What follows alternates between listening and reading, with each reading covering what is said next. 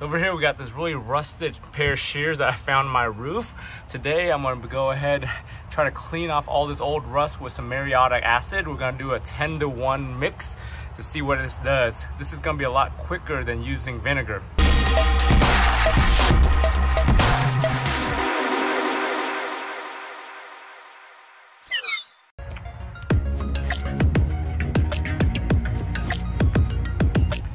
Let it soak for two hours right there. I'm gonna go spray it off, see how much rust we got off of here.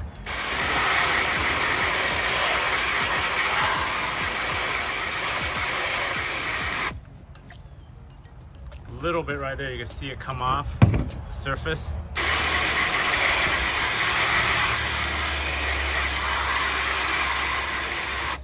There, did remove some of it.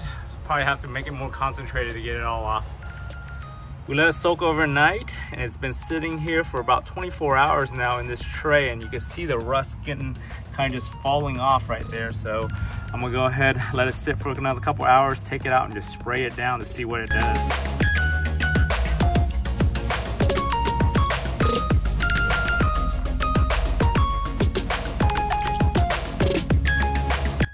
All right, so I'm just scrubbing it now after letting it sit a little bit longer and all that corrosion and rust just falls right off.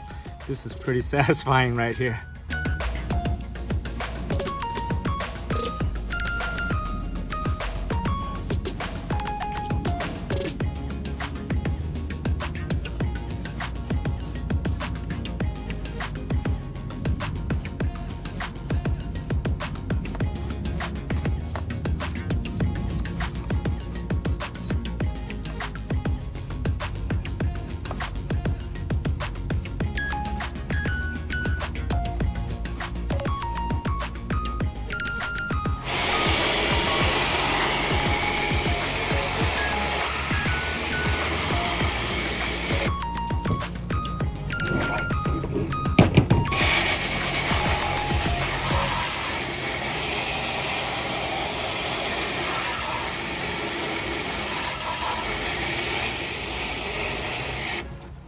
All right, there we have it, folks. All the corrosion and rust comes off this thing pretty easily by soaking it overnight in a 10 to 1 hydrochloric acid or muriatic acid solution right here.